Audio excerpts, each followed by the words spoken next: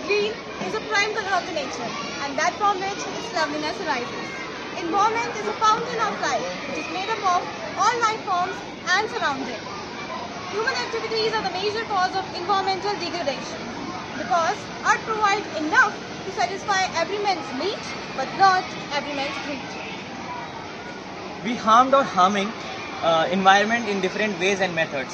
So we cannot reverse the effect of our action, but we can do something to improve them. So, our, so we are going to show you our school effort against the environmental issues.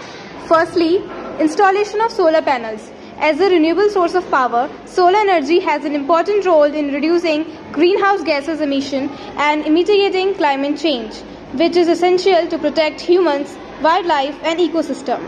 Solar energy can also improve air quality and reduce water use for energy production. It also requires less land and places less strain on the surrounding environment. Replacing our current power sources with the solar would free up land and reduce the impact of energy production on our planet. Secondly, by making natural compost. Firstly, we segregate the biodegradable wastes like leaves, dead flowers, waste food then they are converted into manure by burying them in compost pits. The manure generated is in turn used in garden inside our school. This is a process of natural recycling. Compost reduce and in some time cases eliminate uh, the need for chemical fertilizers. Use of twin bins. We segregate waste using these dustbins. Green color dustbins are meant for the wet and biodegradable waste and blue dustbin are meant for the dispose of plastic wrappers and non-biodegradable waste. Pollution of air and water can be considerably reduced when hazardous waste is separated and treated separately. Rainwater harvesting. Rainwater harvesting is a simple strategy by which rainfall is gathered and stored for future use.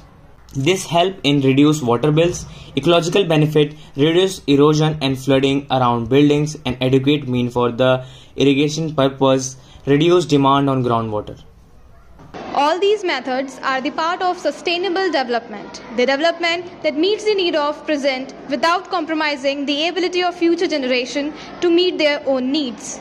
And out of 17 goals of sustainable development adopted by United Nations General Assembly in 2015, in our school levels we are able to fulfill 3 of them. That is affordable and clean energy, clean water and sanitation, good health and well-being.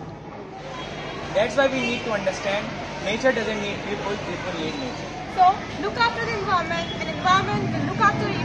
Destroy the environment and it will destroy you.